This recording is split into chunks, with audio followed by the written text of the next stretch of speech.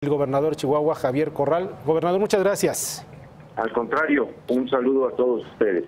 Gracias. ¿Nos puede poner al corriente sobre el caso de las investigaciones contra su antecesor César Duarte, por favor? Bueno, hemos continuado con la operación a la que le hemos denominado Justicia para Chihuahua.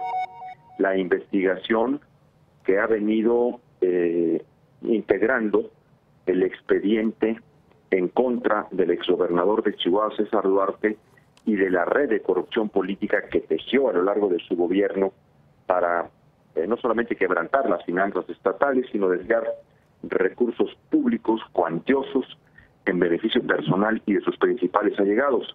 La operación tiene hoy eh, siete detenidos, funcionarios de su más eh, cercano ámbito de operación, eh, acusados por diversos eh, eh, peculados, el delito de peculado, a través de diversas operaciones de desviación de recursos, obviamente la principal que fue el facturar a empresas fantasmas inexistentes cuantiosos recursos públicos de Chihuahua con los que se pagaron, obviamente para ser desviados a distintos fines.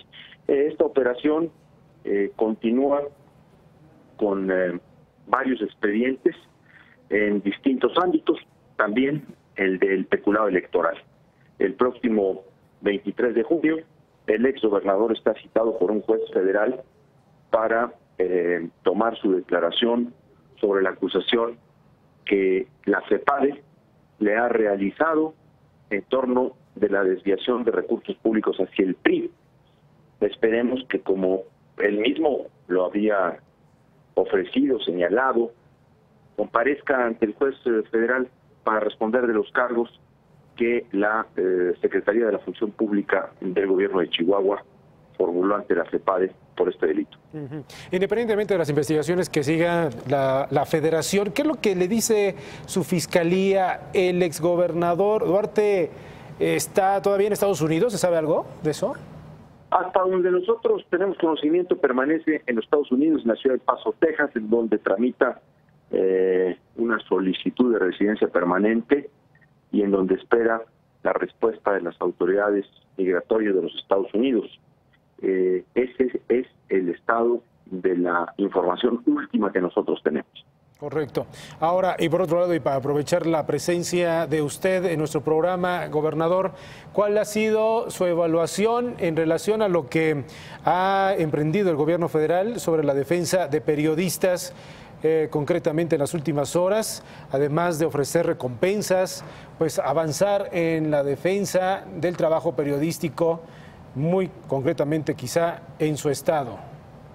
Bueno, nosotros, como ustedes saben, eh, hablamos en este momento una eh, acción de colaboración con el gobierno federal, o hemos solicitado, perdón, una acción de colaboración con el gobierno federal. Hemos prácticamente concluido las investigaciones en torno del asesinato de la periodista Miroslava Bridge. Tenemos eh, la investigación eh, sólida, muy, muy sólida, en torno de eh, este asesinato. Hemos pedido la colaboración del gobierno federal espero que la oferta que se hace en torno a una recompensa, eh, pues también eh, contribuya a consolidar esta investigación y a cumplir el objetivo que tenemos, que es capturar a los responsables. Correcto. Gobernador Javier Corral, gracias.